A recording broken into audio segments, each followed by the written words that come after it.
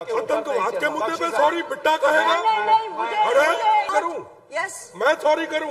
अरे मैं कट जाऊँ मर जाऊँ तब भी सॉरी ना करूँ? मुझे सॉरी कहलाएँगे।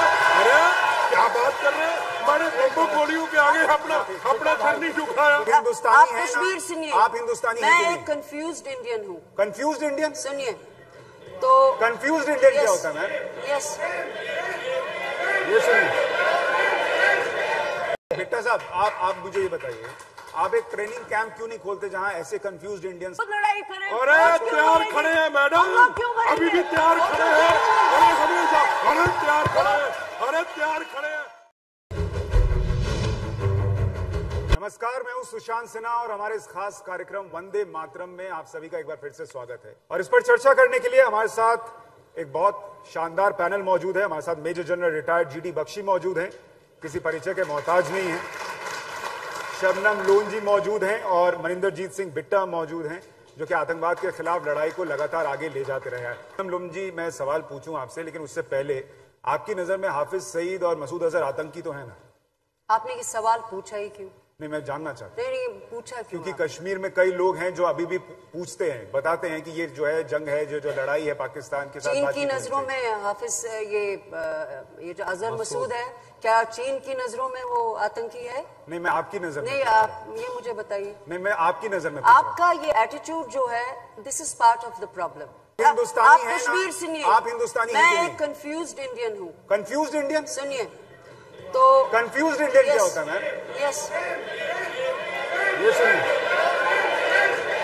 बेटा एक मिनट एक मिनट। सबसे पहले तो मैं बेटा कहूँगा मुख में बंदे मातरम तन में बंदे मातरम शरीर के बहते हुए खून में बंदे मातरम खंजरे कातिल कत्ल कभी भी कर देना हमें। आखिरी चीख भी निकलेगी निकलेगी बंदे मातरम बंदे मातरम।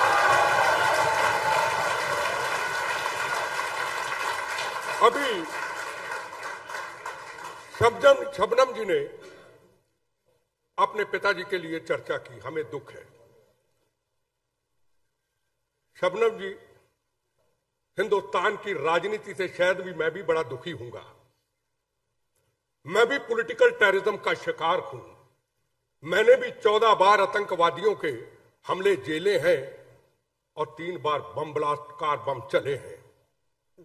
वो भी आतंकवादी हिंदुस्तान के पॉलिटिशियनों ने अलग अलग पॉलिटिकल पार्टियों ने फांसी से, फंदे से चढ़ते हुए किसी ने अस्पताल के अंदर, किसी ने पंजाब में प्रोल के अंदर, जिन्होंने सत्तर सत्तर बेगुनाहों के खून किए, बहनों के सुखाव जाड़ दिए, बच्चे यतीम कर दिए और हमें अपहाज कर दिया। पर मेरे लिए प्रथम राष्ट्र है, ना पॉलिटिकल पार्टी, ना परिवार सबसे पहले प्रथम राष्ट्र है। मेरे गिले छिकवे हो सकते हैं पॉलिटिकल पार्टियों से।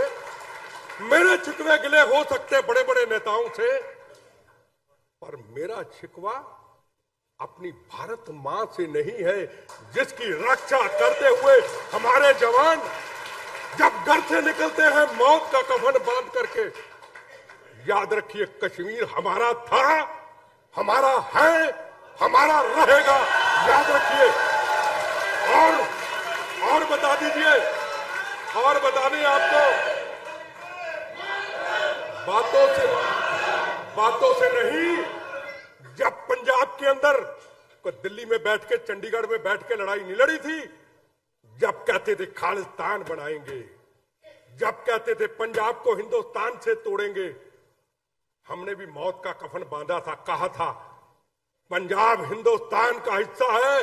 रहेगा, गोलियाँ चलेंगी गोलियाँ खाएँगे और कहेंगे, सरफरोशी की तमन्ना अब हमारे दिल में है। देखना है ज़ोर कितना बाजुओ कातिल में है। जनाब, पंजाब के अंदर छत्तीस हज़ार बेगुनाहों का कत्लेआम हुआ। हज़ारों बहनों के सुहाग उजड़े, हज़ारों बच्चे यतीम हुए। क्या खालिस्तान बनने दिया? अमन शांति आया? मैं भी उस सिख समाज से हूँ, वो गुरु तेग बहादुर जी महाराज, हिंद की चादर जिन्होंने मजलूमों की रक्षा के लिए कुर्बानी दी थी, मुझे भी कहते थे, ये कौम का गदार है। मैं क्या कहो, सबसे पहले प्रथम राष्ट्र खालिस्तान न बना था, न बनने देंगे, और याद रखिए, कश्मीर हमारा था, हमारा है, हमारा रहेगा, ये गारंटी से कहना चाहता हूँ। बिट्टा साहब, एक बात बताइए।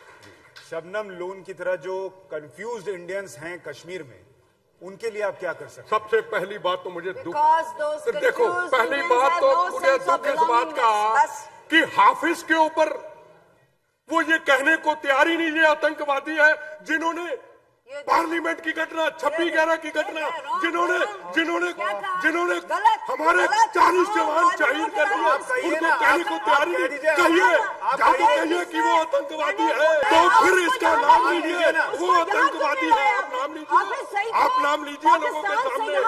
वो आतंकवादी था।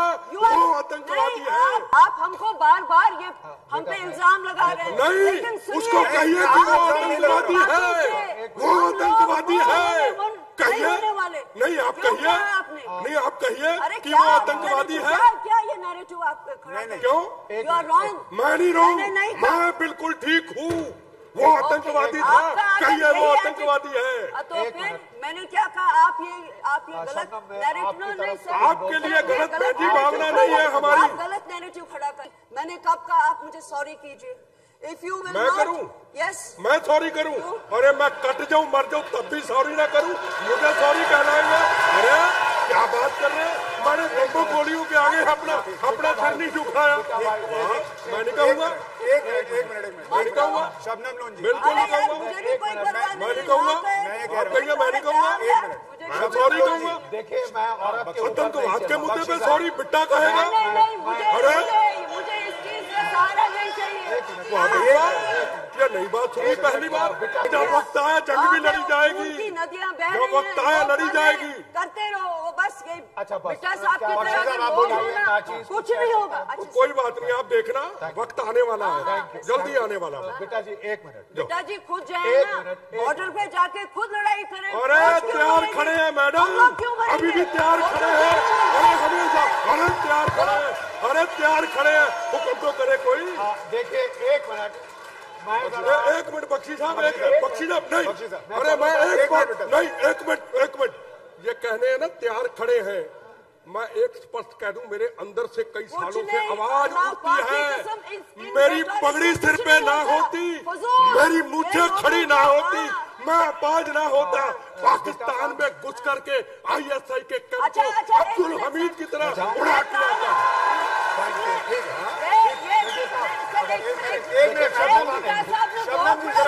बोलिए दीजिए बोलिए उनको बोलिए बोलिए बोलिए वो तब से बोलना चाह रहे बोलिए बोलिए बोलिए बोलिए बोलिए बख्शी बोलिए साहब बोलिए बख्शी बोलिए थैंक यू जी देखिए मैं एक औरत पे कभी नहीं नहीं सर। मुझे इससे. Sir I believe in equality नहीं। दीजिए औरत की हैसियत से मुझे कोई कंसेशन नहीं चाहिए। एक बहन मैं के काफ़ी ऊपर- मैं काफ़ी हूँ बेटा मैं के साथ। नहीं सर बहन मुझे के किसी ऊपर की नहीं हमदर्दी नहीं चाहिए। मैं आपको हमदर्दी दे नहीं मैं रहा हूँ मैं कश्मीर कुछ की बता बेटी सर। बहुत अच्छा आप भारत की भी बेटी हम नहीं घबराते। हैं अच्छा उनको बोलने दीजिए बात मैं नहीं घबराती।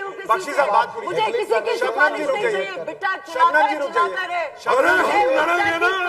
हमारी तो बोनस की ज़िंदगी है। इस राष्ट्र के लिए है। अपने मुद्दे से कभी भटकेंगे नहीं। अरे भटकेंगे नहीं कभी। मैं कभी। भटकेंगे नहीं। कभी भटकेंगे नहीं। कभी भटकेंगे नहीं। प्लीज़ प्लीज़ मैं रिक्वेस्ट नहीं नहीं। देखिए थोड़े- साहब, अगर देखिए एक बात आपने आपने डिबेट कराई है। तो आपने डिबेट कराई है तो जब कोई गलत कह रहा है तो आप इंटरव्यू कीजिए। शबनम जी मैं ये कह रहा हूँ जब आपने कहा आप कंफ्यूज इंडियन हैं उनको आपत्ति थी आपने माफ़ी मांगी नहीं मांगी। इन्होंने कुछ कहा आपको आपत्ति नहीं मांग रहे। मांग ले, मैं तो नहीं माँगता। देखिए साहब सुनिए एक मिनट ये क्या है? हमने भी टेररिस्टों के साथ लड़ाइयाँ की देखिए। सुनिए एक मिनट एक मिनट रुक जाइए।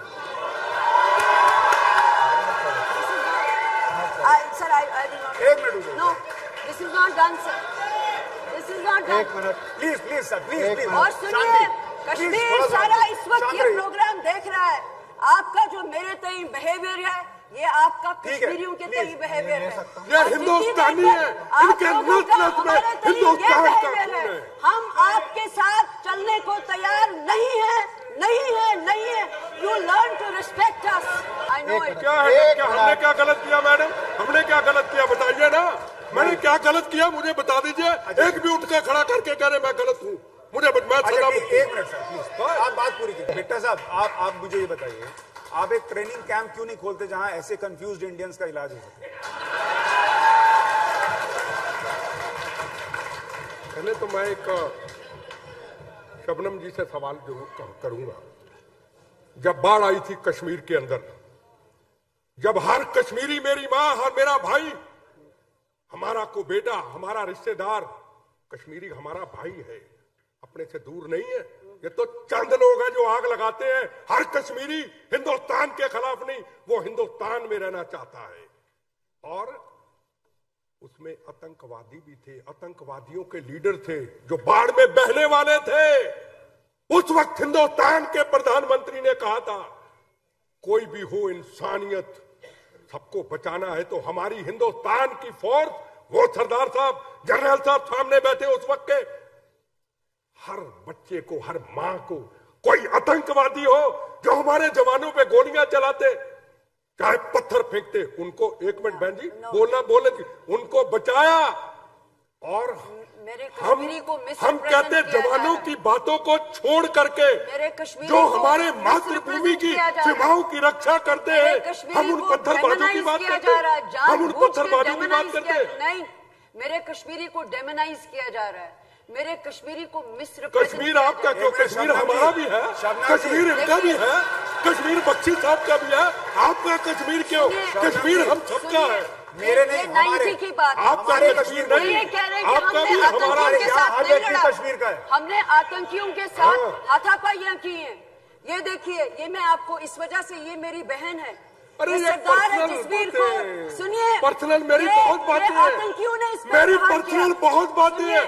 पर प्रथम राष्ट्र राष्ट्र पहले ये फिर कभी बात हो जाएगी। आज तो कश्मीर की बात करें आज पाकिस्तान की बात करें। आप बेसिकली बिटा साहब बहुत कंफ्यूज हैं। आप इनको मैं कंफ्यूज नहीं हूँ। हाँ, मैं राष्ट्र के मुद्दे पे कंफ्यूज नहीं हूँ। बिल्कुल कंफ्यूज नहीं इमोशनल हो जाते हैं। तो इसमें अरे मेरे पे इतने हुए? मुझे तो बम भी फूलों की तरह लगते हैं जनाब। मुझे दर्दे भी फूलों की तरह लगती है क्योंकि मेरे लिए प्रथम राष्ट्र प्रथम राष्ट्र आतंकियों ने हमले किए हैं। तीन बारी मेरे पे अरे हम है क्या? आज नहीं तो कल जाना है, पर प्रथम राष्ट्र हमेशा ज़िंदा रहे। हम वहाँ खड़े रहे। राष्ट्र ज़िंदा रहे। चलाई तो राष्ट्र ज़िंदा रहे। बेटा जी आपने कोई एहसान नहीं किया हिंदुस्तान पे। बम फटा। एक मिनट, बहुत सारे और लोगों की ज़िंदगी में बम फटे। एक मिनट ना ना मैंने हसान कहा किया। मैंने तो कर्तव्य को पूरा किया। किया। आप बार बार उन चीज़ को चर्चा कर रहे हैं हमें दुख है। भी आपके साथ जी आप पर बार बार चर्चा हम अपनी करें। नहीं कश्मीर हमारे जवानों की शहादत क्यों हुई? हमारे जवानों पे पत्थर क्यों एक फेंके गए। यह सबसे बड़ा सवाल है। अरे आतंकवाद के खिलाफ जवान कोई ए के फोर्टी सेवन चाहिए। पंजाब में ए के फोर्टी सेवन की तरह जवान को चला के अच्छा आतंकवाद का थोड़ा मुकाबला किया। जंग होगी। शबनम जी जंग होगी। शबनम लोन के हाथ में झंडा होगा? शबनम लोन के हाथ में तिरंगा होगा। जंग शबनम लोन के हाथ में तिरंगा होगा। War. शबनम लोन के हाथ में तिरंगा होगा अगर जंग होगी जो सुनिए द बेस्ट देखिए the best the best country wins और आप अगर जंग से हमको जीतेंगे पाकिस्तान से ज़रूर उठाएँगे लेकिन हमें ये बताइए कि पाकिस्तान बंद कर दे ये कहना कि हम उसकी शहरग हैं ये सोच है इससे बिना लड़े क्या आतंकवाद से लड़ा जा सकता है लास्ट कमेंट बस. थर्टी सेकंड एक मेरी बात सुनिए जी सर जब हिंदुस्तान नहीं वक्त नहीं सर प्लीज़ फिर वक्त है तो इतना सुन लीजिए। सारी बात का एक ही निचोड़ है। सदियों से कश्मीर है मेरा। अब भी मुझसे दूर नहीं। अरे आप ना समझो। है। सदियों से कश्मीर है मेरा। अब भी मुझसे दूर नहीं। तुम मांग रहे कश्मीर। मुझे उसकी मिट्टी देनी मंजूर नहीं।